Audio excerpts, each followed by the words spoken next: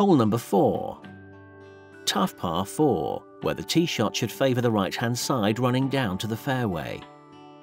The second shot is demanding, with the undulating green banked heavily on both sides.